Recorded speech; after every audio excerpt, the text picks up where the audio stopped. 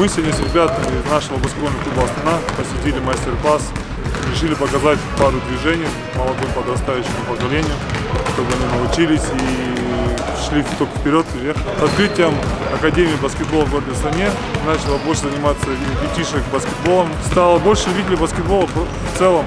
Сегодня в Международной школе Астана прошла тренировка баскетбольной академии, которую посетили игроки баскетбольного клуба Астана Антон Пономарев, Максим Марчук, Денис Дегтярев. Показали ребятам элементы баскетбольной игры, правильную технику.